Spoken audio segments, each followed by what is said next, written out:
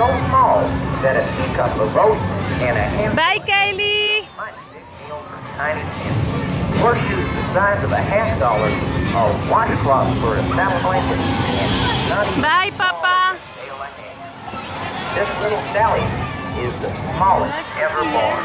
Only 15 inches tall and 6 and a Bye, Puppy! Bye! makes him the smallest horse in the world. Has never seen a horse so small. He was the smallest of the famous mini horses you've seen on TV and read about him in the fairs. Mom and Dad, bring the kids. This was an exhibit for the whole family to enjoy. Come in and see the world's smallest horse.